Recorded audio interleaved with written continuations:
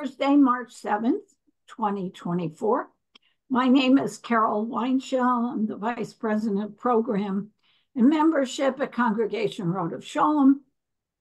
And we are continuing in our series of American cinema with Rabbi Eisenberg and Paul and Marcia Friend. The beauty of Zoom is Rabbi Eisenberg is at home, sitting in his study and Paul and Marcia are in New Jersey, I believe, sitting in their study. What, what a wonderful thing we can do here together and be able to have a program such as this. I'm going to ask you that if you have a question, to please raise your hand. I want anybody who has a question to have the opportunity but I'd like to make sure that everybody has the opportunity and not just one person asks the questions. So without further ado, tonight, just to give you the recap, the first session was um, Jews behind the scenes of American cinema. Mm-hmm. Tonight is Jews on the screen in America cinema. So, again, what I say to you is I suspect we're going to learn a lot, we're going to laugh a lot, and we'll share a lot. It's great to have all of you here. And I'm going to ask Rabbi Eisenberg to take it away. Thanks, Carol. Um, just to begin, and I'm going to turn it over to Paul in a minute to tell an interesting story that we didn't get to tell last time. But my first show and tell is this which some of you have seen. And one of the uh, Jews behind cinema, in this case, world cinema, really, but was Al Brodax. Yep. The animator. Al Brodax was the producer and animator of Yellow Submarine by the Beatles. Jewish. Okay, anyway. Um, I'd like to I'd like to open with uh, first welcoming everybody and turning it over now. You know, before I turn it over to my uh, friend Paul, Paul Friend, um, I, I just want to say that the world, as we all know, is in such turmoil and there's so much darkness around that it can be so unrelenting that at times you just need to release, let go, have a little fun, talk about things like our topic tonight that are interesting and fun and a diversion. Um, and it may not have the weight and importance of the things you might see in the news or read in, in the uh, you know media. But um, if we are not, if we don't let ourselves um, have these diversions, you, you can just go crazy and it's not healthy. So, in that light, in that spirit, um, I'm now going to turn it over to Paul. Thank you. So I'm here with my wife, Marcia, and our uh, Chihuahua, Trixie. You can see peeking out. She's asleep. Of the sling, but she's asleep. The it, it's funny, Rabbi, you you showed the album The Yellow Submarine, and I remember seeing that movie when it came out in 1969 at the what was then the Community Theater in downtown Fairfield. I know I think it's been bought by Sacred Heart University. I don't know if they've renamed it, but it, it brought back memories of uh, uh, that. And uh, you know, one other funny story about that is that the Beatles thought it was going to be a disaster and wanted nothing to do with it until they saw uh, a draft of the movie, and they were so excited about it that they filmed a little scene that's included at the end of the movie. So uh, they were, boy, were they wrong. They thought it was going to be schlocky. They thought it was going to be like the Beatles animated cartoon that was on between 65 and 67. Mm-hmm. Uh, quite a different experience. I, I recommend the movie. Uh, and uh, as George says in the movie, it's all in the mind, you know. So I thought I would start with a funny story that is has nothing to do with Jews in cinema, but it kind of demonstrates that I'm not really the movie fan, but I have learned a lot from the professor. I don't mean Trixie, but Marcia sitting next to me. Um, Marcia had asked me if I had ever seen Gone with the Wind, and I said no. And her one word response was, when I said I hadn't seen Gone with oh, the Wind, you said, real? What he always hears from me, real? So she sat me down, choice of words delivered there, to watch Gone with the Wind. And, and the movie starts. Um, you know, I think it even started with the, the orchestral thing. Yeah. And I immediately blurt out, that's the theme to the million dollar movie. Which, Marcia, which I'm not from the New York area, so Marcia didn't know, and I, but I think probably all of you know that that was the Million Dollar Movie broadcast mm-hmm. on Channel Nine WOR. I think it was 4:30 in the afternoon, you know, after kids got home from school. Mm-hmm. It, but it was interesting that having not seen Gone with the Wind, I had no idea that that was the that tune was the main theme to the movie, and that the to million a million dollar, dollar movie. Yeah, to a yes, to a a million dollar movie. So I just wanted to share that with you as kind of a a funny true life story. Rob, I don't know if you have a similar tale or if you have a you know, to that one. I do. I well, not not really, but I have just a quick an, uh, anecdote about the community theater, which oh, was um, many of us who grew up in the Fairfield Bridgeport area remember the community theater right off the post road in yeah. downtown Fairfield. And one of my early experiences with community theater was seeing a movie there in the summer of 1964, also that was produced by a Jewish person named Walter Shenson and was directed by a Jewish person named Richard Lester uh, called A Hard Day's Night. Um, but I, I have to tell you, this is truly a case where I can tell you, I saw the movie, but I did not hear a word. And I still have a vivid memory of being a um, 11 year old kid going to that theater, sitting there and listening to screaming for an hour and a half, yelling, screaming, little girls, young girls, and teenagers. And I'm sitting there saying, I what am I doing here? I don't know anything that's going on in this movie. All I all I am doing is seeing images on the screen. well, Rabbi, I'll, I'll top that before moving on. I was 18 months old in the summer of 1964 my mother brought me and my grandmother to see A Hard Day's Night. It was the first movie I ever saw. And my mom to this day tells me she was very proud of me that she said, You, Paul, didn't scream. oh. Everyone else might have, but she, because she was afraid I was gonna, you know, get yelled because know, being 18 months old. But she said she was astonished that I focused on the movie and she said did not make a sound. No, other than what you might have done in your diaper. But anyways, let's That's go. Back. Rabbi, before before we go any yes. further, because yeah. I have to know everything, as you know. Okay. An- Anita Andrade, welcome, but I would like to know who you are because I don't know you. Anita, will you unmute and tell us who you are? Do you know Paul and Marcia? Are they Paul Marcia, they friend friends of yours? Okay. Okay, Ruth and Jules. Those are mine. Are, okay, and Carla.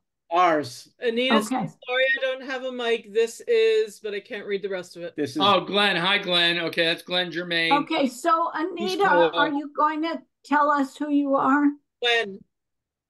Anita is Glenn. It is Glenn Germain. Okay. Anita is his wife. Okay. Thank you. I, I am very, very tuned in to security. knowing Carol's who is on security. Zoom. Yeah. yeah. So, okay. Well, now it's back to you. Paul and Marcia, take it away again. You know, originally um, we thought, or I thought, you know, I had an idea like, you know, pick a major Jewish actor or actress of the last 100 years you realize we're almost at the 100th anniversary of the uh, Academy Awards. And, but Marcia came up with a better idea. Rather than talk about you know, Jewish actors and actresses on film to talk more about, I'm going to use the word, she may disagree, Jewish themes on film. Uh, Marcia made the point that that's probably more interesting than saying, you know, in 1920, X was big, followed by Y is big. Um, and let's see, the um, Carla may have to leave, but that, uh, sorry about that, Carla. She's having speaker okay. problems. Anyway, I assume everyone else can hear us. So instead of going through a list of you know, the biggest star in in, 19, in 1950 was so and so, we wanted to talk more about themes, uh, literally expressions of Jews and, and more you know more importantly Judaism and Jewish culture on film, on screen over the past 90, 100 years of film. And Marcia, I'm, I'm hearing your prompt yeah. comment. Yeah. So, so I, we already talked last time a little bit about movies, you know, that kind of featured Jewish themes. Um, we talked about To Be or Not to Be, Casablanca that didn't mention Jews, other things that didn't mention Jews. And Emile basically, Zola, right. yeah, Emile Zola. Basically, um, you know, as I was like looking over films with Jewish themes from the early, you know, pre 1950 or so, um, there are not really all that many Jewish themed movies. There are a few, um, but it generally being Jewish as a character or as a subject of a movie wasn't that um common and wasn't really that known i think to most people and and i was looking at like where it started to change and I think it started to change in the 60s and then much more into the 70s. I think one of the reasons may have been, and I have no backup except that like a, a observing how film progressed, is that I think the we were talking about the Jewish studio heads last time, and the Jewish studio heads very much wanted to assimilate. Yes, they wanted to be, you know, part of the WASP, part of the the American experience whatever and not necessarily be associated with Jews. And that's one of the reasons that you know as Hitler was taking over they were still you know making concessions to release their films in Germany and you know not Big not time. trying to put Jewish things out there. Yeah. And the actors of that time also if you were a Jewish actor you changed your name. You you, you were not Bernard Schwartz. You were Tony Curtis you know, it it just you couldn't none of the actors, you know, Edward G. Robinson. I, I actually don't remember what his real name is, but it's not Robinson. Um, you know, it, it wasn't done. And then I'm thinking, well, who were the Jewish actors who who actually came out came out as being Jewish? And like Dustin Hoffman. And he was really, I think, the first principally Jewish actor and I was reading um, a lot of stuff about The Graduate, and it was written and directed, written by Buck Henry, who was Jewish, directed by Mike Nichols, who was Jewish, based on a novel by not a Jew, um, and it and it is about a WASP experience specifically. Yes, yes but Mike right. Nichols in later interviews said inadvertently he he realized that he was making the main character of Benjamin Jewish. And that was why Dustin Hoffman was perfect for the role and you know the alienation from the wasp society he felt that that, that was one of the reasons. And a lot of his his mannerisms and a lot of uh, the things around him were really more inspired by jewishness than what came out of the book. And when Just, when dustin hoffman came on he became a nerdy sex symbol. I mean you, you he wasn't kirk douglas. Yeah, he he was he was he was your New York Jew. And his look and his mannerisms started to get more common in Jewish romantic leads as you go through the 60s and 70s. You have Richard Dreyfuss and um, Richard Benjamin, and I meant to make up a list of piece, but I was I talked about them at length with Paul. Now I can't think of who they are. It's okay, but, but um, we know but you're Barbra Streisand. Barbra, well, I'll get into the women separately. Yeah, that's a. I get into the women is a whole separate thing, but Jewish leading men, Woody Allen also, because I mean he, he went in as comedic romantic lead basically, yeah. but that these Jewish men who identify who were identifiably Jewish, that you looked at them, most of their characters were Jewish, they became sex symbols and you don't have that from earlier the earlier half of the 20th century. It really came, and my theory going back to the studio heads is the 60s is when the studio system broke down. It's when the rating system broke down. It's when the re, um, release of movies uh, started going more independent or not necessarily being made through the studio. Um, the whole, you know, the 60s, everything started uh, going against the production code and they started bringing in a lot of stuff that couldn't be shown in movies before then. And then in like 67 or 68 is when the MPAA and all the movie ratings came along because nothing was rated before that. It all had to be acceptable to a G audience. And now you know, as as Hollywood evolved in the 60s and moved away from the studios, the types of actors evolved, the types of stories evolved. And I think the Jewish archetype stereo some of it's stereotype, but it's more like the identifying things, the big nose, the you know the the New York accent. A lot of people think of the stereotype Jew as going to be the New York accent, and I go back to Groucho Marx on that, and as Paul says, Bugs Bunny on that, um, and you get that kind of stereotype of when you see that kind of character, you kind of assume they're Jewish.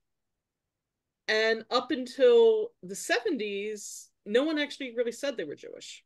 They they just you know it was a stereotype. But then in the 70s it became more explored and you know the like woody allen's comedies and um the, the i'm losing it here. Um and the other films that were coming out that kind of dealt more with jewish people in various roles and romantic and rabbi mentioned the jewish leading ladies and i don't think it worked out as well for them aside from Barbra Streisand, I don't think there's any other Jewish actresses, maybe Lainie Kazan, but she's not that big of a name, who really were Jewish on screen. Most Jewish actresses to this day, Natalie Portman, Mila Kunis. Yeah. Um yeah, the gee, I didn't know she was Jewish. Yeah, yeah. Yeah, they they Group. are they don't have the same identifiable traits that the Jewish male actors do. Yeah, Woody Allen had Louise Lasser, as you know. Yeah. No, yeah. Mary Hartman. Yeah. Yeah. Was, it was in take the money yeah. and yeah. But there weren't many, you're right. There weren't yeah, many. Yeah, Barbra Streisand is the only one who actually like embraced that New York and I mean not all Jews are from New York, but like I said, that in people's mind, if you said think of a Jewish character in a movie, hmm. most of them are going to come up with a Brooklyn Jew. Yeah, and male. Most likely um, male. And you know, Marcia, I think this is maybe an interesting and worthwhile digression. Uh, we talked about last time Jews behind the scenes, Jews uh, controlling the or starting the major movie studios and even uh, most of the minor ones. But Marcia, you said something interesting. Um, so the studio system, you know, owned by Jews, factually speaking, uh, was existed for a long time. Uh, can you point to a movie or an incident that would you would characterize as maybe the end of the studio system and the beginning of, uh, we'll say, the more my, explosive cinema of the 1960s? Yeah, my my thing that I point to as the end of the studio system is the movie Anatomy of a Murder. Nothing to do with Jews, though. Do you remember the year? ish. Or, want to say yeah, 50, 58, 59. Okay. In that, in that area. Let's plug in um, 59. Anatomy of a Murder. Go yeah, because it was the first movie that I am aware of that was released by a very big name director, Otto Preminger, no. with very with very big. Oh, actually, he might have been. I'll look that up. okay. Um, yeah, and, he, and, he, was Jewish too, by the way. Yeah, yeah. that's what Paul just said. like, Again. he might have been. Um, and Jimmy Stewart. I, it was it was a big picture, and it the um uh, the production code refused to pass it because of the subject matter and um a lot of the words in it and not that they were horrible words, but they were words like rape and panties. And, and there was a married woman having an affair, and there was you know, it was just it was a subject matter that was not portrayed in movies at the time. And Otto Preminger said, "Screw it, I'm releasing it anyway." And Columbia Pictures released it. Um, and I think that was where the production code started falling apart. Crumbling. And they started you know people started making violent movies and sexual movies and and putting in more dirty words you know they didn't get as dirty until that dirty until much later. Um give it 10 years. you know 10 years. And things started falling apart through the 60s and i think as that was falling apart i think the studio system was falling apart because you got a lot more independent people coming in. So that's kind of where i start with the modern what what is broken down into modern cinema and going from everything was G-rated, um, clean, cut, cut, cut right after the closed mouth kiss of no more than four seconds, uh, yeah, kind of thing. It's to a train. Yeah, yeah. There's a train through a tunnel. That's all you see. Uh, to you know what what became okay we have to classify whether the movies are for children or for teenagers or adults or whatever. So and i think that with that and with the ability to do more expressive things in movies i think that's where the studio system started losing it because they didn't have that kind of control over i, I also want to add a trend i noticed. I noticed a trend when you and I, again i know you want to focus on jewish themes uh, but before i just want to also add when it comes to the jews on screen you know as actors and actresses i, I noticed a trend and i correct me if i'm wrong uh, but I think I'm right, that in the, the, the Jewish actresses and actors in the 30s and 40s and maybe 50s, like Kirk Douglas, like Tony Curtis, like John Garfield, like Paulette Goddard, like Melvyn Douglas, Edward G., and others, m- most if not all of them were um, born of two Jewish parents, uh, many of whom were immigrants yeah from Europe. Um, but as you got into the 60s, 70s, and, and into the modern day, second generation then. Yeah, many of the Jewish actors and actresses, again, following on your theme, Marcia, many of them you you you wouldn't even know they're Jewish. Yeah, and and and a lot of that is because of their names: Harrison Ford, Daniel Day Lewis, uh, James Franco, Jake Gyllenhaal, just to name a few. Um, uh, when you learn that they're Jewish, Scarlett Johansson, you know, now Scarlett Johansson is more strongly identified as a Jew and more closely tied, you know, has more close ties with Israel and so on.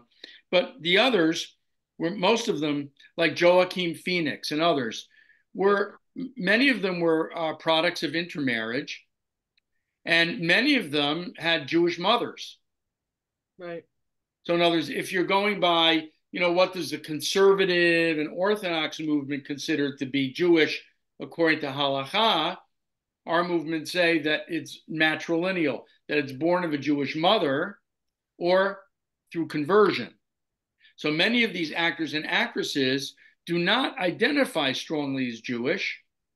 You know, they might kind of admit they're Jewish, but they don't wear it on their sleeves. Many of them were not even raised Jewish. Right. Were only Jewish because their mothers were born Jewish. And I think that this is a more modern trend over the last three or so decades, uh, um, as opposed to people like Lauren Bacall and Kirk Douglas and others, you know, in the 40s and 50s. Well, I would say that's a trend of society as well as films, is that there is a lot more intermingling and a lot less um, you know standard Jewish upbringing in general in society. Right. It's curious that the movie moguls, many of themselves who, who were intermarried. By the way, this is no diss on intermarriage. I'm not I'm not criticizing. I'm just saying, okay, that many of the um, moguls were intermarried, but the Jewish actors they hired were, you know, some of them, many of them were intermarried, but many of them were products of two Jewish parents. Right. Oh yeah. Okay, back to you guys. Yeah, when um Marcia and I were looking at this, you know, it it, it is funny uh, if, if you look at the uh, you know actresses and actors, how many of them, and I'm speaking broadly, are Jewish or at least have a Jewish connection. Maybe it's only from the dad's side. Like Paul Newman, who I don't think ever identified as Jewish, but his father was Jewish. Yeah. You know, you, you can you, you can draw connections all over the place. Uh, it, it's kind of funny. And another thing, rabbi you, you triggered a, me a, memory. I may have mentioned this last week, but it's worth repeating um, that the movie Gentleman's Agreement 1947, which did win the Oscar, uh, I think for, for Best Picture of the Year. I think and we may have mentioned this story two weeks ago. Uh, I think it was a Darryl Zanuck yeah. movie. Darryl Zanuck, not Jewish, surprisingly, but the story, which I believe is actually true or very close to true, is that the movie was inspired because Darryl Zanuck was denied entrance to a LA Los Angeles Country Club because the members thought he was Jewish. Well, you're a big man in cinema in Hollywood, ergo, and the name is Jewish you must enough. be Jewish. And Zanuck, it starts with a Z, ends with a K.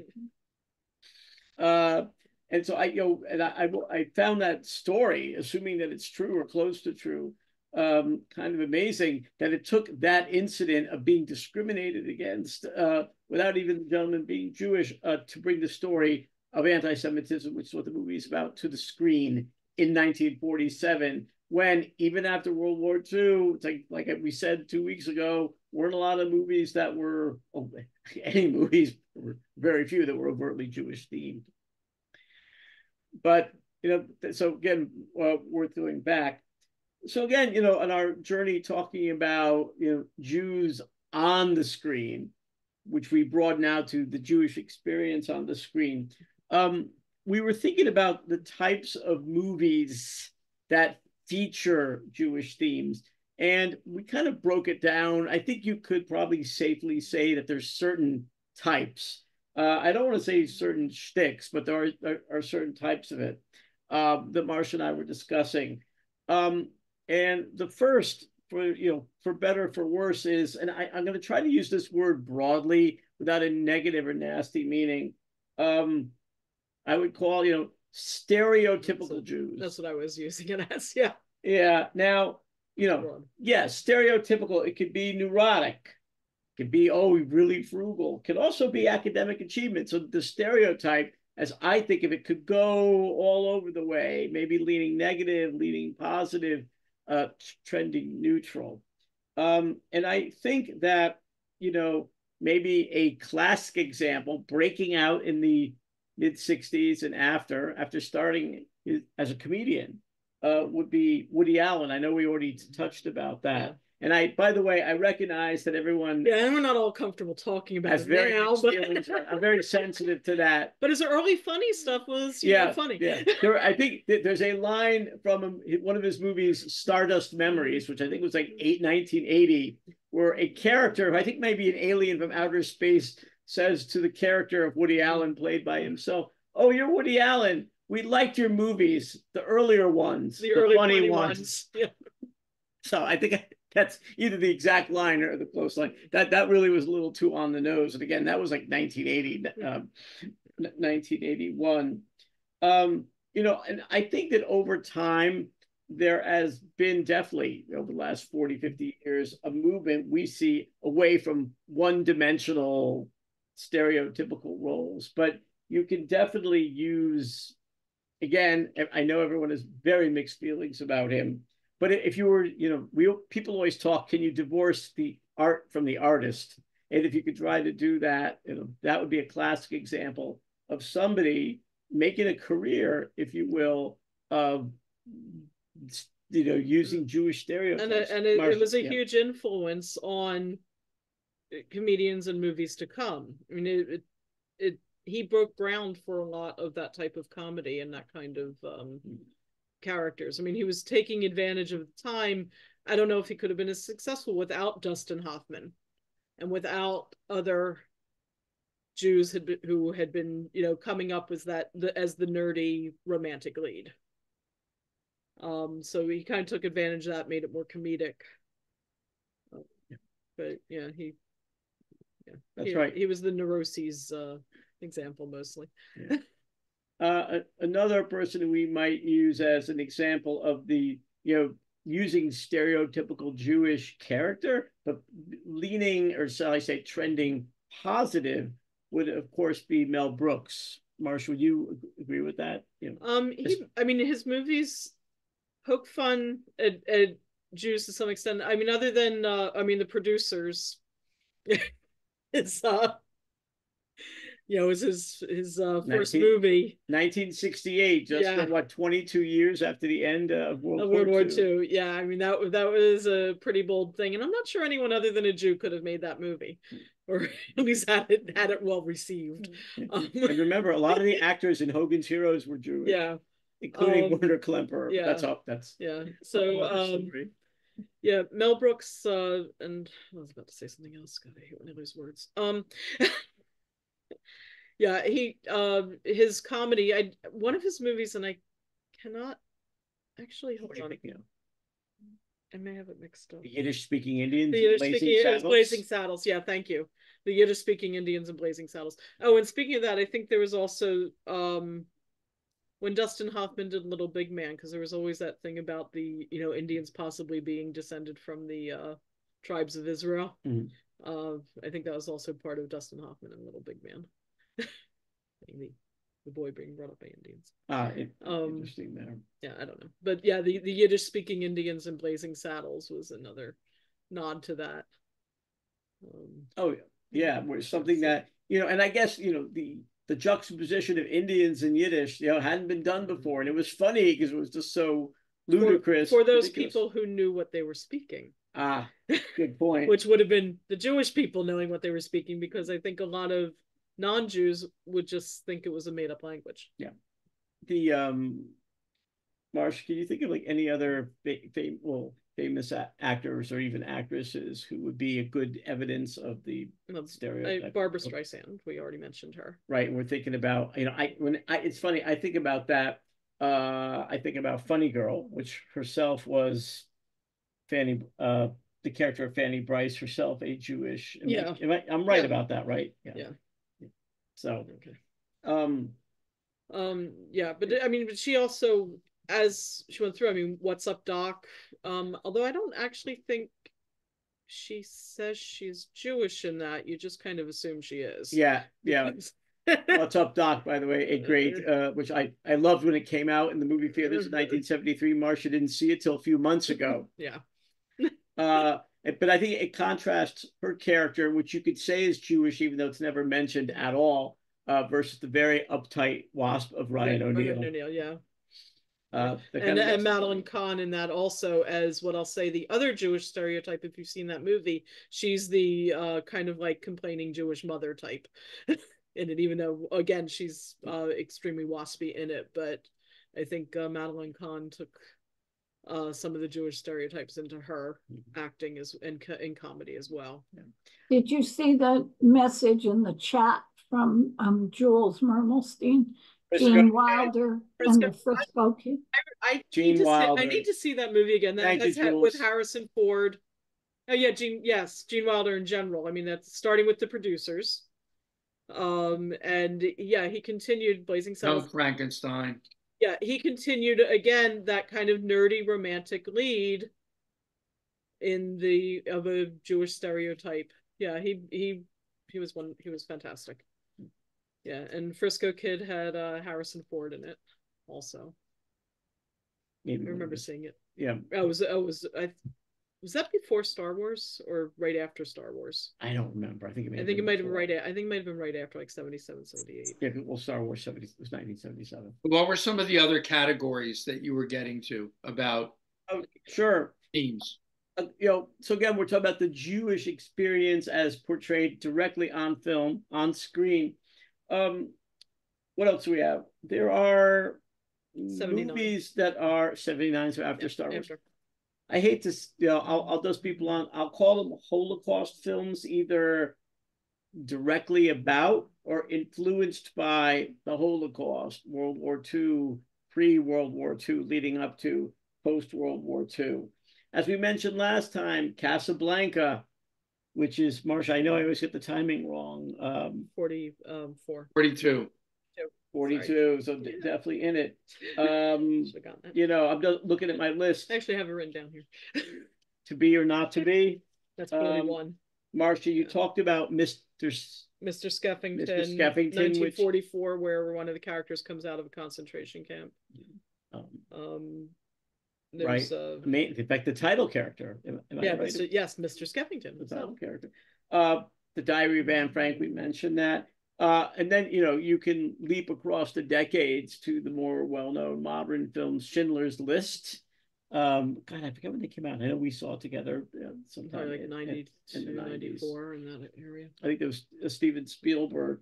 Uh, that is one theme that continues to echo. I don't I- think we even mentioned Steven Spielberg last month when we were last last time when we were talking about Jewish directors. So because it's endless. yeah, Or, or Stanley Kubrick. uh, yeah, yeah. which uh yeah and by the way w- one of my uh, favorite movie scenes of all time is speaking of mr kubrick who was jewish is in the movie a clockwork orange which marcia doesn't like And no, I've never seen. No, it. Well, Uh, there's a scene uh, in a record store where the main character alex goes to a record store and picks up a copy of an album called 2001 it actually was the soundtrack to 2001 he picks it up looks at it and puts it back. That's pretty So, funny. uh, i thought it was, it very funny but nothing to do with jews on film although you could talk have a whole session on stanley kubrick. That's a whole Uh, there's nothing really Jewish about his movies. I'm sure you can argue, not you can try to extract something and come up with something, but I think you'd be hard pressed. Yeah. You know, No. except Yeah. the creativity, the author experience. Yes. Um, what up? Next, we think you see the expressions of Jewish experience on in American cinema and, and probably other time, other places too. Uh, we would call it family dramas and comedies, or you know, family. I think that probably the classic experience, a movie that I would pick out would be Fiddler on the Roof Yeah. which Mar- Marcia, the movie, I'm not going to talk about the, the stage presentation, and we've we've seen Yeah, a number of stage versions of that. Um, I think Fiddler on the Roof. I didn't look it up sometime in the 1960s, but I, I can't. Seventies for the movie. What, oh, The 70s? movie was the seventies. Yeah. Okay, I want to say. I Um, want to say seventy four. you know, you might say that's the ultimate, in my estimation. and I'd like to think everyone would agree. Uh, Jewish family experience. Uh, there are other more modern versions of that. 71 okay i thought late 60s Okay. crossing Delancey uh from the With- 19 with Amy Irving 1990s and um and um avalon uh barry levinson's movie about Jew- a jewish family in- Actually, I was just thinking, although it's not, uh, it, it's not entirely my favorite year because I, I mentioned Lainie Kazan earlier, and she's in that. peter o'toole? Uh, Peter O'Toole, he and be, uh, uh, uh, I think he did. Yeah. th- okay it was the um, but um, God, the actor Mark. I can picture him so well, and I cannot think of his name. No. Um. Anyway, uh, the right, he's a writer, and it's supposed to be a semi-autobiographical movie. Um, and he takes Peter O'Toole, the Errol Flynn type guy, home to meet his mother and family, and the extended Jewish family. so it's, it it's very funny. uh, you know, you know, I, I know I appreciated when, when Jules gave um, you know, comment. Can anyone else think about because you know the um films we're talking about right now, family dramas or comedies. Can anyone come up with any other films that they would say could fall into the Jewish family experience movie? I see a hand raised. The Lees, You have to unmute. you're mute, however, and and you're still muted. Or you can type into chat. You're muted. Uh, Jackie has her hand raised too. Okay. Jackie, go ahead. This is not family themes, but you spoke about the Holocaust ahead. before.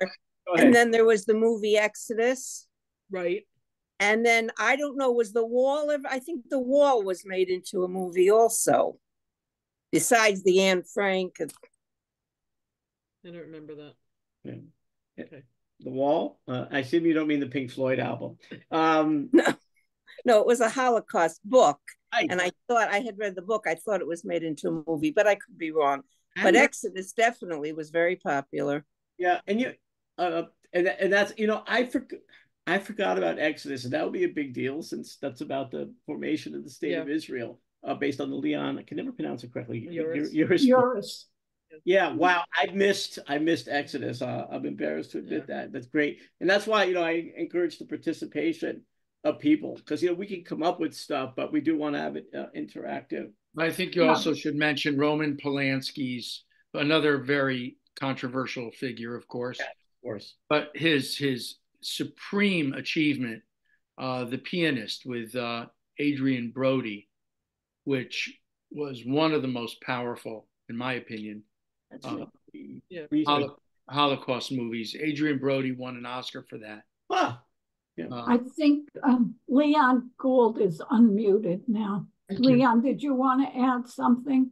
Yes, there, there are, there's a, a major theme in American cinema, uh, which should not be overla- overlooked. Go ahead. And that is making it in America and the sacrifices which that entails, which could be quite severe. For example, in Body and Soul in 1947, John Garfield, he sold himself out to the mob in order to become a champion. And in uh, Duddy Kravitz with Richard Dreyfuss, Yeah. uh, uh, you know, Which which Richard Dreyfuss really hates, by the way. He he don't ask him about it. you know, you actually you just accurately predicted, I would say, the next type of film, uh, which we would call broadly the Jewish immigrant experience coming to America, living in America, dealing with assimilation, cultural identity, the pursuing the American dream.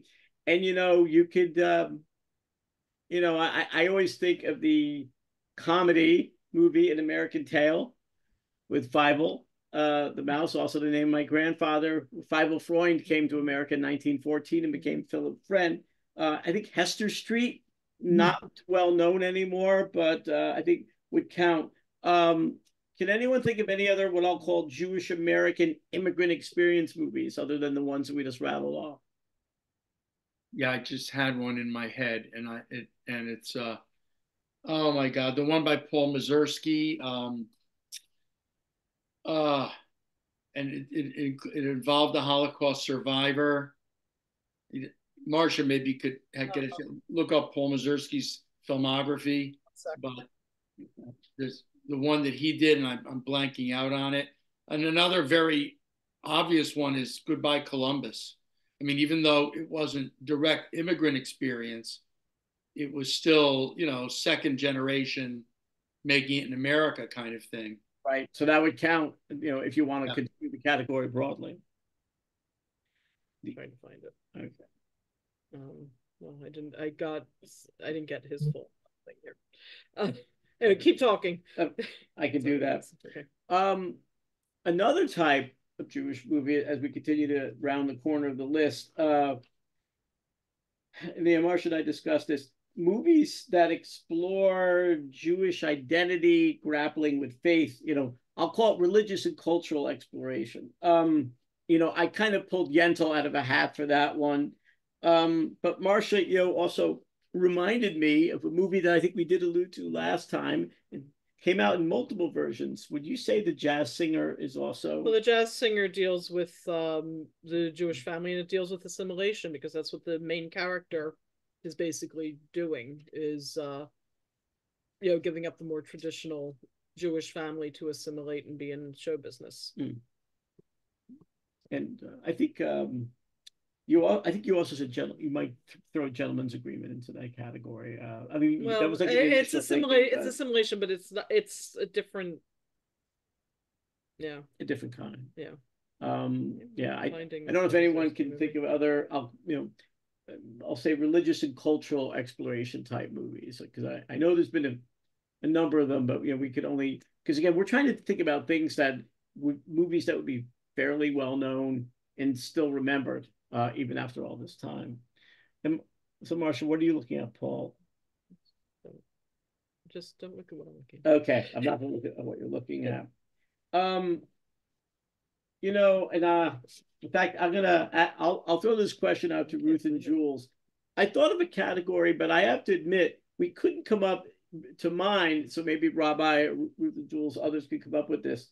Um, and I, I know it's been made, but couldn't think of it. Movies that, where you have Jewish characters as political or social activists. Um, what I'm saying is, I believe there's been movies about that, but I couldn't think of any Yeah, the one that just came out a few years ago uh, by Aaron Sorkin, uh, the trial of you know the Chicago Seven. Yeah. Was there anyone? Wait, wait, wait, wait. Do you mean well, there was crosstalk? Rabbi, what was the movie you were thinking of?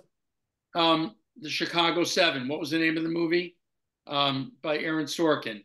The trial of the Chicago Seven. Yeah, We saw on. Yeah, we saw net- it, net- yeah. Okay, Yeah, we we saw saw it. In fact, I think Marcia Yeah, I, we, I had mentioned it when we were talking about um because I meant said Ab, when he was talking about activists and I said Abbie Hoffman. Um, Yeah. yeah. that's one. Mississippi Burning, um, where Actually, Norma Rae also. Norma- right. Norma Rae is Yeah, um in fact is that Richard Benjamin in that? Who plays the um guy in that? That goes to make the union. I don't remember.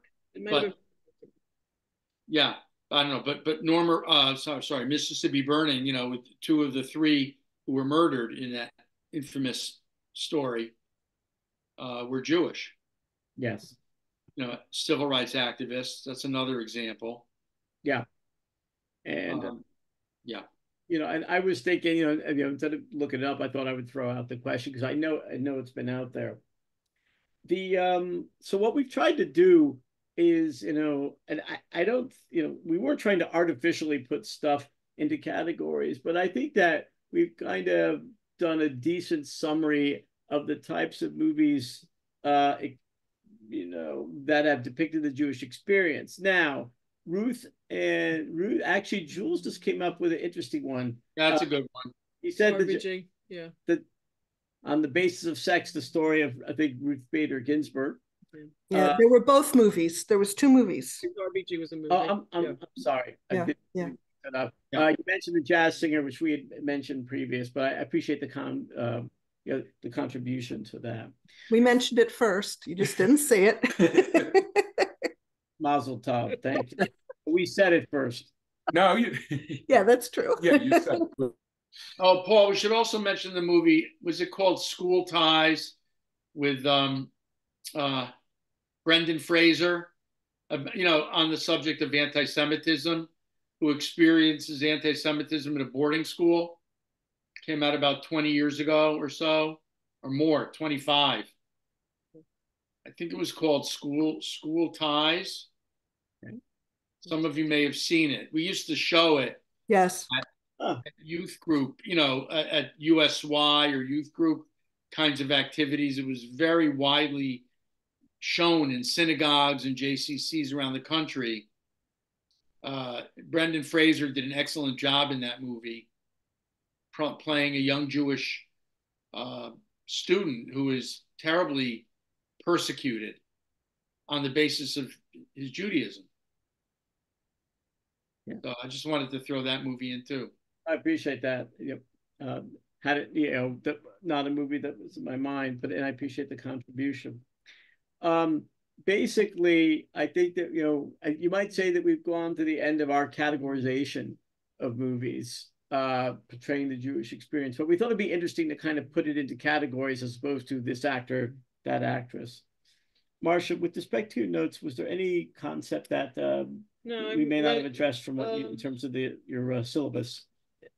I my note. I think we covered everything I put down in my notes. Or maybe there's something we're missing that people Yeah, think Somebody else would add that they would come up with. it. maybe that you're thinking of and how it relates. Yeah. Yeah, maybe does anybody have any category that we may have omitted? I was wondering about Jewish science fiction or Jewish horror movies, but I have to struggle with that Uh, one. Jewish horror movies. I mean, Universal. Uh, Yeah, horror movies were uh, were Carl Laemmle.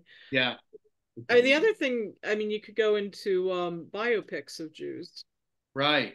Um, yeah, there's lots of those out there. You mean about Well, just yeah, Jewish characters biopics of Jewish se. people. Yeah, yeah. But we, you know, in, in trying to survey the world, we were trying to map out the world, if you will, for you. And again, I think we've covered the uh, metaphorical globe in terms of the Jewish experience as portrayed in modern American cinema. Um, you know, uh, there may be movies, for example, about uh, Israel and the Middle East, talk about the the conflict. Uh, but I don't. Not a huge amount in American cinema. Yeah, I think it's it's a I subject I can't that think of any. yeah, it's a subject that American cinema does not do a lot with. Right, and I'm we're talking about American Yeah. cinema, not about Israeli cinema or ma- movies that may have been made Yeah. elsewhere. Yeah. we kind of noticed that that maybe might have been a theme, but we, without digging too hard, uh, we couldn't think of any or find any. I think your your knowledge is unbelievable. Between the two of you, you know so much and you just can share and pull out dates and times and places. Estimates and people- guesses and yeah. How did so let me ask you a question. Yeah, How did how did this whole subject pique your interest? Where did that come from?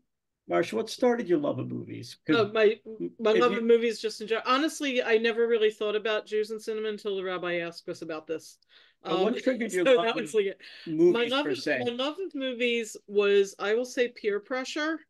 Um, I went to NYU Okay, and um probably around November, or December of my freshman year. Um, my friends dragged me to a black and white movie that I really didn't want to go to, and it was called It's a Wonderful Life. And I kind of got hooked on it there, and because I was living in the village, um, you know, and at NYU, there was, you know, there were a lot of films around, a lot of film students, and there was a particular theater there, um, that we actually uh, walked by recently when I, I was there with a friend called Theater 80. It was on uh, St. Mark's Place over by First Avenue. 80 St. Mark's.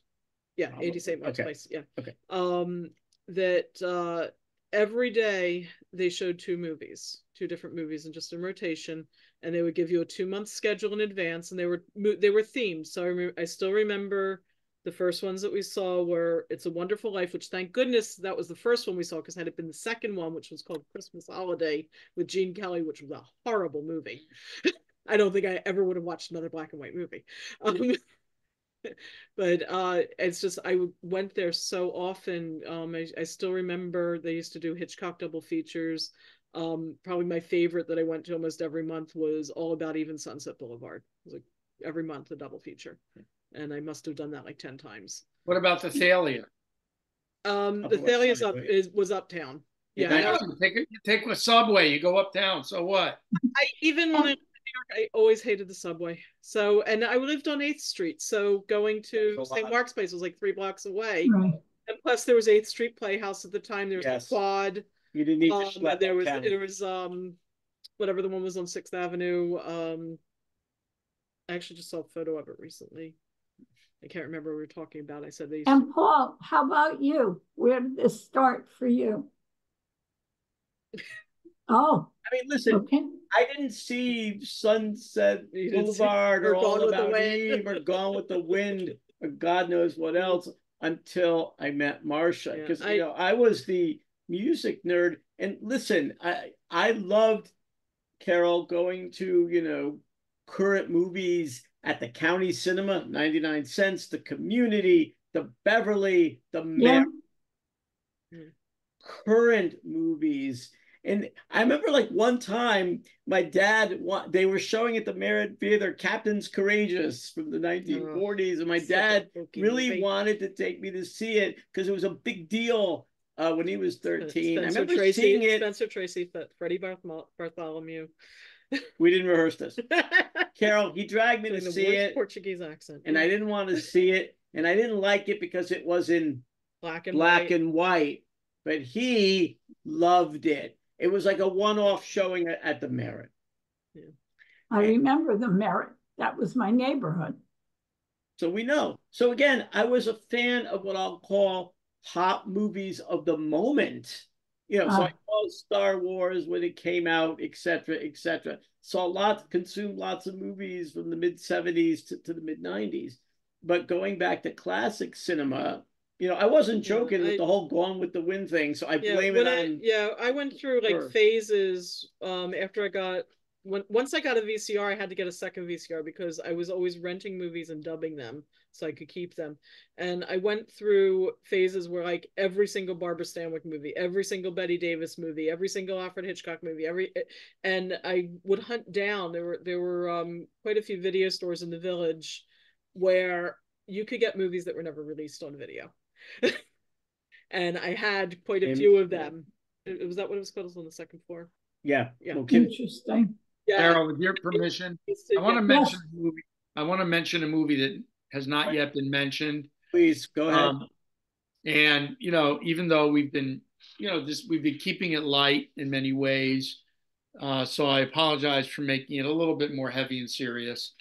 But um, Paul and Marcia were challenging us to think about movies having to do with Middle East themes, Israel themes, and so on. And there's one movie that was not mentioned that I think should be, uh, which was controversial, and that was Munich by uh, Steven Spielberg with Yeah. a screenplay by Tony Kushner.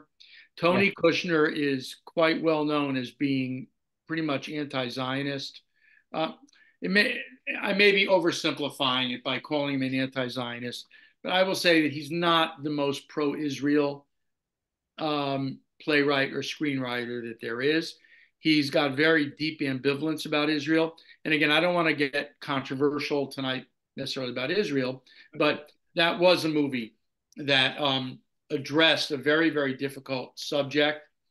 Mhm. And uh, both Spielberg, uh, and this was after Schindler's List. So with Schindler's List, Spielberg got all this the cred he needed with the Jewish community that would probably last a lifetime. But then he made Munich, and that kind of compromised his cred with with with certain segments of the Jewish community uh, who criticized him and Kushner for writing a movie that seemed to sh- to present some kind of equivalence between the terror the Palestinian murderers and terrorists in the 74 I think it was 74 74 72 Olympics thank you and the Israeli um, operatives that came in to uh, exact uh, justice. I will say, I'm not even going to use revenge, but the movie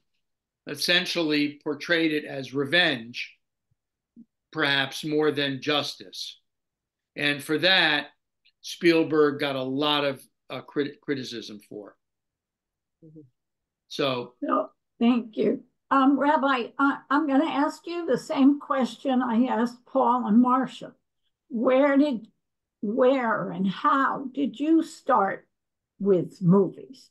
Um, it's very easy for me to answer that uh, because Paul alluded to it at the very beginning. It was Million Dollar Movie WOR Channel 9, where the same movie was shown six days a week, or five days a week rather, Monday through Friday, maybe once on the weekends in the in the afternoon after school, and then in the evening as well, twice a day.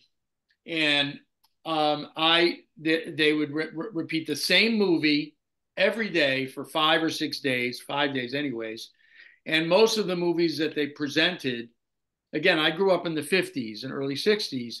Most of the movies that they presented were movies of the 30s and the and the 40s.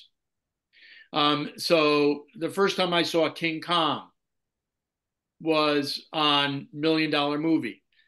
I became a huge Fred Astaire and Ginger Rogers fan because of because of seeing the gay divorcee on Million Dollar Movie. I became a big Henry Fonda fan by seeing the movie Slim on Million Dollar Movie.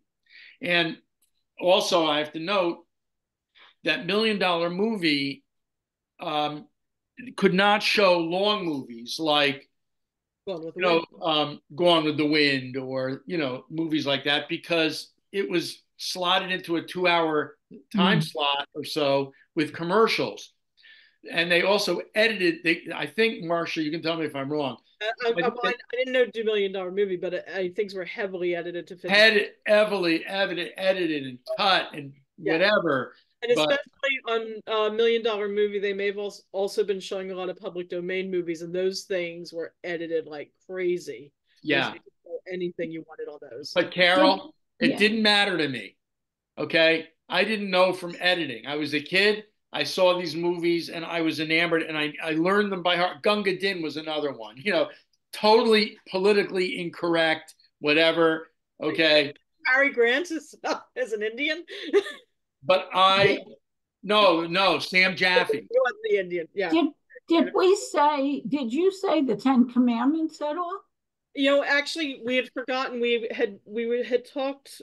Paul and I were discussing this earlier this week about um, the biblical representation of Jews and Jewish stories, and I, I we were going to mention it, and I said in a way, like in terms of being, if you're presenting Jewish people to the public, I don't think like they're going to think, oh, the Ten Commandments or Samson and Delilah or those, because when you look at biblical Jewish, Jewish. yeah well, it's not they're not Jewish. It's also it's almost like you're seeing um like knights in the Middle Ages. It's like this fantasy. It's like a fantasy myth mythological thing. Yeah. So it's I, not necessarily something that you relate to in your life. Yeah. Oh yeah. You're looking at it like a you know costume drama and um, that kind of thing. So the biblical movies, mm-hmm. when I thought about that, it's like yeah, they they show Jews, but it's not the same kind of connection to Judaism that we were talking about in a lot of our other. Right. But what is interesting about the Ten Commandments?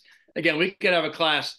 We could have a course just on biblical movies, okay? But the Ten Commandments, one of the things that's interesting is that um, it was the Cecil B. DeMille and the um, and the and the writers of that movie, the script writers, relied heavily on midrash, uh, and they um, they didn't, you know, there were a lot of stories in there that were not from the Torah, but they picked they got them from midrash, and they had actually rabbinic consultants on that movie to help them come up with some of these stories that filled in the blanks, you know, about Charlton Heston and you know Moses growing up in the palace of Pharaoh and falling in love with um, Anne Baxter, you know, and did you ever see the silent version of it, the Cecil B. DeMille silent version, nineteen twenties? Yeah. I never saw that. I haven't either, and I'm wondering how it compares because basically it's a remake. I mean, it's his own. It was his own film in the first place, and I've seen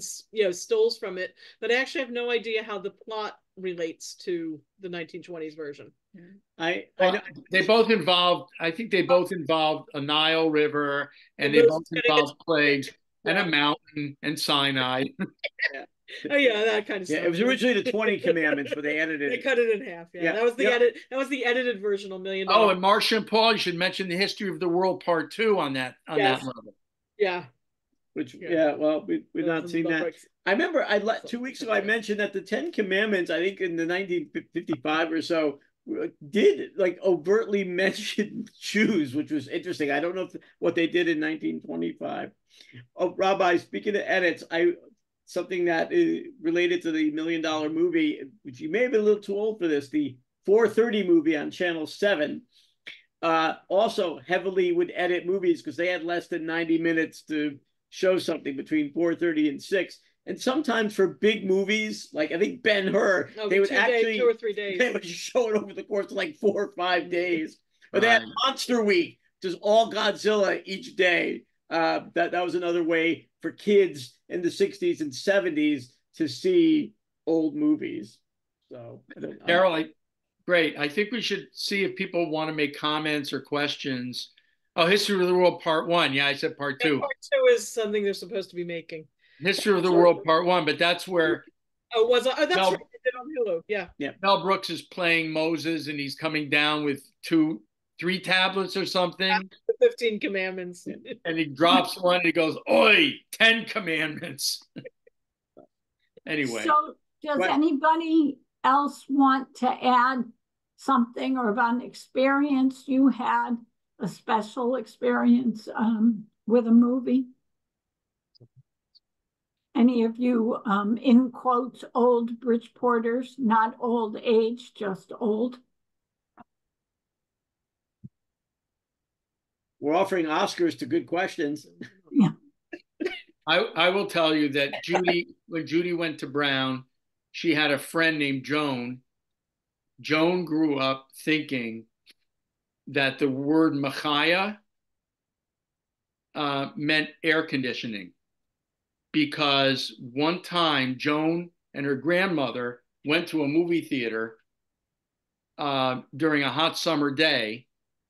You know where I'm going with this. And Joan's mo- grandmother says, walked into the theater where it was cool and she says, Oh, it's a Machaya. Machaya means like, Machaya means like, it's a Yiddish word. It's based on Hebrew. I somebody give me a good translation. I mean, Machaya means A great, pleasure, a pleasure. a pleasure, Machaya means The Machaya. great thing. a great thing. Yeah. So, so, but Joan thought Machaya meant air conditioning. Well, going to a movie was a very big thing for us. I I can't even remember the first time that I went. I mean, that just wasn't something we could really afford. Um, Carol, do we have like five minutes where maybe people could either unmute or put it Yes. in the chat and tell us do. what was the first movie you saw? Do you uh, in the movie theater on the screen? I don't remember. I remember the first play I ever saw, and that was My Fair Lady, and I was probably Lucky you. 11. Lucky you. And the first R-rated movie I saw was um, The Longest Yard, and I think Ruth and Jules took me to it. The what? Now, That's great. And then the second R-rated movie I saw was Lenny, and that was a total mistake. But mom had dropped me off at the movie theater um too early, so I snuck in and watched it, and that was like really a lot for a 14-year-old. Um So, can anybody, does anybody else want to share the first movie? Debbie? Sound of Music. Oh, Ooh. my favorite. Grandmother, my grandmother took me, and it Great. was, I, I don't remember how old I was, but 10, nine. And it was like such a treat. And we got all dressed up to go to the And, movie. and Ruth and Jules put in How the West Was Won, That was which Joel. actually I saw too in New York. Did you see it in the Cinerama Yes. that So in New York? Cinema. that was on TCM recently, and it is so weird when they show up. It's Cinerama, yeah. No, it was just a regular theater. The regular theater. Yeah, regular theater. The first movie I saw was Bambi. I was maybe four years old. During those days, I know, during those days, Disney was re releasing all these movies. So I saw Bambi when I was maybe four or five, and then I saw Snow White sometime later. But Bambi is traumatic. Yes. That I mean, imagine a little kid seeing Bambi, you know, with mama being shot to death by a hunter. Yeah. But that was my first movie. And I remember just the, being so enamored of the big screen. Anybody else remember their first movie, Jack? Jackie? This is not my first movie, but does anybody remember going to the movie theater for the 3D movies and you had to wear glasses Yeah. to see it in 3D? They had special glasses that we had. You don't have to. Don't you have to do that? And didn't, So to do and it, didn't, they're, they're there's although now they're like plastic and they're and you have to turn Right. they sounded- Yeah. they were the cardboard ones uh back in the day. and didn't they give dish, and didn't they give dishes away on Saturday or something? Oh, I don't were- know. Yeah. Debbie, you, I I got one. Uh, okay. old Old Yeller down downtown Bridgeport. You guys are seeing awful movies. That, that was an awful movie. Yeah, that was an awful movie. And then I Walt had a Disney. friend, I had a friend when I was like 12 years old. Uh, his father actually ran the projectors over at the Stratford Theater. And so we, once in a while, would get to see a free movie over there. Steve McQueen, Great Escape, uh, Hush Hush, Sweet Charlotte. That was another. Um, but uh, yeah, we got to got to see a few movies over there for free. Ruth and Jules have their hands up. Yeah, I remember, I don't know if Marcy remembers this. Mom and dad loading us into the station wagon, parking backwards, and we all laid down in the back facing the movie theater. At, at the uh, movie screen. uh, yeah at the Yeah, drive-in. at the drive-in Driving. movies that we saw there that weren't Disney because the only thing I can think of was Disney. And it was like the county drive-in or something. I remember they had a great playground. Yeah, Bridgeport had a drive-in. We, we did over off Lindley Street, Yeah. right? Candlelight. Yeah. Candlelight. Picks. Candlelight. Candlelight Candlelight. picks. Yeah, Pix and Candlelight. Yes. There you go. Yeah. Screens. That was a big night to go. Big. Yeah. I saw Exodus there. Can you believe it? Oh my. Debbie, you had another one? I'm thinking that maybe, I'm trying to remember, I think maybe the driving, maybe I saw um Mary Poppins. Those were like my two things I remember from childhood. But the other thing I remember is when I was 16 years old, for like a year running, the Merritt Theater in Bridgeport had only one movie, The Exorcist. Oh, Well, that was back. You remember back in the day, especially in the mid seventies. Well, they- now it is nineteenth week. You know, Yeah. Jaws or you know, Yeah. The Godfather. So I remember watching Jaws. I mom was at Loman's and I absolutely hated Loman's. And I would stand outside and you could see the drive-in theater across the street. And I remember watching Jaws on the drive-in screen from standing in front of Loman's. Oh, I didn't watch the whole Sheila. thing, but Sheila, besides the dishes, do you remember anything else to share? No? Uh, Okay. Carol, Debbie, the, the, the um, The Exorcist was directed by a Jew, William Friedkin. Friedkin, yeah. Yeah, we're everywhere. so many. Right, we're everywhere. We're all over the place. We're taking over the world. Erica? With our space. time. Okay, so my my uh, first movie that I remember seeing is uh, Love Italian Style. It's Gina Lollobrigida and Sophia Loren. I didn't see American movie till I came to this country. So, Love Okay. American style or or marriage or, or divorce American style. I mean, divorce Italian. Italian style, right? Divorce, But divorce I or have a marriage. question. Uh, Walter Matthau, I like him as an actor. We, nobody mentioned him, Oh, right? you're right. And Neil, Neil Simon. Neil, I love Neil Simon. Yeah, it Uh, I great. love the Cal- California Suite. Good name. Yeah, we didn't even talk about Neil Simon, guys. uh, Yeah, for Jewish experience. Yeah. Yeah. Yes.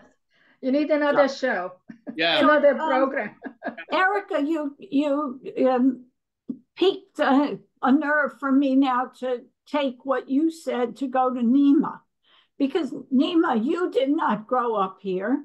So did you have movies that you went to see, like we're talking about? Uh, I'll talk about some experience we had. Uh, in the summer, we didn't have a mechaya. In other words, we didn't have air condition in the late 1950s. Uh, so there, there was big screen, uh, close screen on the on the gra- in the in the lawn area, and all the members of the kibbutz would sit there and watch the movie, and we the children would sneak in the back. And I remember there was a movie with Brigitte Bardot, and and, and they were kissing, and we were not allowed to see that but uh, it was you know we it was cinema paradiso that's how we that was our life like uh, we were able to to watch um Salach Shabati, I bet. Salach Shabati.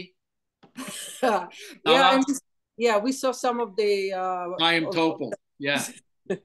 Foreign films, foreign they, they were called burekas movies because you know they were sort of about the mizrahi uh, experience yeah Yeah. One of the greatest people may have heard of is Salah Shabati, right?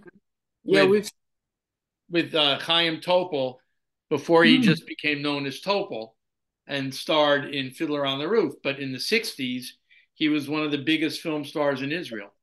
right So this is now like Hanukkah around the world. Watch, watch now.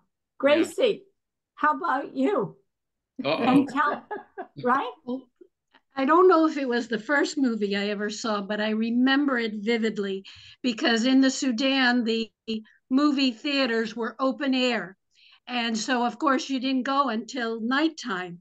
And uh, we were watching um, Love in the Afternoon with Cary, Gra- uh, not Cary Grant, Gary Cooper, Audrey Hepburn, Maurice Chevalier. And all of a sudden, the clouds just burst open and it started to pour and there were verandas like around the the edges and everybody made, made a mad dash nobody would leave the theater but we sat there under the verandas watching the movie until it cleared and we went back to our seats so that was one of my first experiences with the movies That's a great memory. yes So, so we've been to Israel, we've been to the Sudan. We had Erica who came from the Soviet Union and and didn't see movies growing up. Um, anybody else want to share? I mean, we didn't have television in the 60s. We already had television and we watched lots of movies uh, from Czechoslovakia, Hungary, and foreign movies. Interesting. And there were some, as Marcia and Paul know, especially Marcia, there were some really great movies coming out of those countries in the 60s, even though it was the Iron Curtain. Some of the great directors of the time were from were working behind. I mean, that's that's where um, Roman Polanski started in Poland, and some of the Czech directors, And uh, Hungry, yeah, Hungary. Hungarian Agnes uh, Varda, and um, right. And, and really some great great filmmakers you know were working you know I can't think of this film, uh, the title of the film. It's a gift shop, and it's uh, based like uh, in Hungary, a music box. um yes um oh, no, I love that movie. That's my favorite. Corner or uh, Good Old Summertime, whichever one you wanted to pick. And, and No, the it's- actor in it. Was um actually Shop Around the Corner was supposed to take place in um I thought Poland actually, but no wait about Eric are you Music thinking of a for, are you box. thinking are you thinking of a foreign movie or an American movie It's American movie, but European actors. One of them. like Shop Around the Corner, it had um Felix Bressart and um uh Cuddles, uh, uh SK Sakall, James Stewart Jimmy Right. Stewart. One of them is Christmas in Connecticut, I think, the movie, and he's the uh, chef. Uh, Yeah. The same actor in several movies. yeah I love him. Uh, Yeah, he's a very good actor. Connecticut is um Barbara Stanwyck pretending to be a Right. chef um and homemaker and it was that it wasn't Gary Cooper, was it? Who was in Christmas in They came to Westport Yeah. from New York. great memories Carol I think this is wonderful. Uh, does anybody else have a memory before we wrap this up? Carol, may- maybe Yes. I uh, kind of put a pin on everything. Um, the other day on a Facebook page about Bridgeport, somebody posted a ad from 1954 announcing the opening of the Beverly Theater. Oh, The ultimate in movie comfort, more Yes. parking, more air conditioning, oi, bigger seats, the ultimate movie experience. They, they made this place out to be, you know, a, a paradise on earth. It was a- Yes. but Carol, what was amazing was that it was a very wordy ad, and it was amazing how much of a push they were doing to advertise this place. They they were making this place out to seem like the best thing on earth. It was a movie theater, but I guess that was the heyday, perhaps, of It- American cinema. It probably was the Oh. best thing on earth in 1954 here. yeah Yep. Real. and several of us Carol had birthday parties I had at least one or two at uh, Mm. birthday parties at the Beverly Theater, Wow. watching And now it's a storage place. watching matinees. Like one of them was a Jerry Lewis movie. Yeah, I, so there's some fond memories of of, of, of that. in 2024, we don't have a movie theater in Fairfield or Bridgeport. Isn't that something? Really? Wow. Yeah. How sad is Well, I would like to say, as I wrap this up, we went much longer than I thought, and I wasn't going to stop it. That's for sure. Um, first of all, thank you all for your participation because whenever we can bring people in when it's timely to do, it's really great. And we certainly went around the world, which we do a lot at Rodeph Sholom. Paul and Marcia, I said it before, but I'll say it again. You are amazing. Your knowledge is just incredible. Good And the way you and Rabbi Eisenberg work together and make this happen, it's so fluid. If if we didn't know, we would think that you rehearsed for hours. We and I did. know We did not rehearse We, have, we haven't even talked for a month except on the screen Yeah. here. and and so it's wonderful because it's just so perfect. So on behalf of Rodeph Sholom, I want to thank you both, the friends, our friends, and Rabbi Eisenberg for another wonderful session. and to tell you that next year we're going to do it again with a different theme. Uh, and the last thing I want to tell you is this Shabbat, we are going to have services in person with a special kiddush that Jill um, is sponsoring. And it should be lovely. Niema's smiling. She knows the food is going to be terrific. So, between Niema and Rabbi Eisenberg being together, our two rabbis in one room instead of on Zoom, what more could you ask for? So, come along. We'll be looking to see you and looking forward to seeing you. So, thank you, everybody. Thanks, Stay Carol. safe. Thank you, and Paul and Marcia. Thank you. you. Carol, Carol, Yes. are we going to have services in the chapel or in Friend Hall? Friend Hall. Okay, thank you. Yeah, we Friend think Hall. Friend Hall is a better option because, you know, norovirus and other things Yes. going around and it's still winter and so We won't- Friend won't Hall we be- can spread yeah. out a little more. We won't be sitting in each other's laps. Right. Does that help, Sheila? Th- Thank you, Paula and Marcia. And I was just Thank wondering, you. is that Thank you. Trixie? Is that the new one? Is that the This one number is, three? this one is Trixie. Yoda got up for a minute. Uh, he just got down. He's the bigger one. And we Well, only because of Facebook, I know your your your family there. So, He's not here, so. the other one's not here. oh, okay. Well, welcome, Thank Trixie. you. Thank you, Rabbi. Very This is nice. the third Thank Zoom you. today, Carol. Have a great Rabbi, night. See you third Saturday. Thank you. In Yeah. one day. Paul, I mentioned Friend Hall not because you're here, but because we really are having services in Friend Hall. Why not? I can't think of a better better named place. There you go.